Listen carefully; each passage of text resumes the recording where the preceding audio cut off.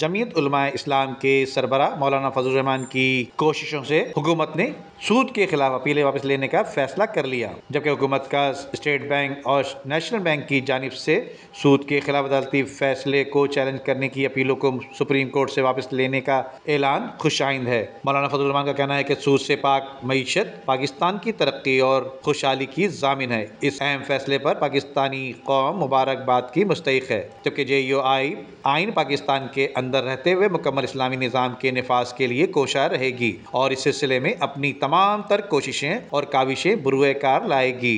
मैं आज उनका शुक्रिया भी अदा कर रहा हूँ और मुबारकबाद भी देता हूँ और कौम को मुबारकबाद देता हूँ कि विफाक शरी अदालत ने सूद के खात्मे के हवाले से जो फैसला दिया था और उसके बाद कुछ बैंक इसके ख़िलाफ़ अपील के लिए चले गए थे। आज वज़ी ख़जाना ने यह ऐलान करके कि वो सब अपीलें वापस ली जा रही हैं और हम बिल्कुल अल्लाह और उसके रसूल के साथ जंग नहीं लड़ सकते, सल्लल्लाहु अलैहि वसल्लम।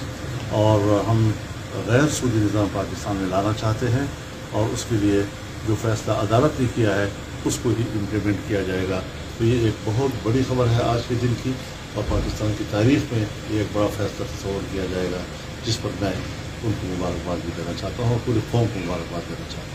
जबकि दोनों रहनुमाओं में हुकूमत की जानब से सूद के खिलाफ अपीलें वापस लेने के फैसले पर गुफ्तु हुई। मौलाना फजल रहमान ने इसाकदार को इस फैसले पर खराज तहसीन पेश किया, जबकि सूद से पाक माशी निज़ाम आवाम के लिए खैर और का बाइस होगा।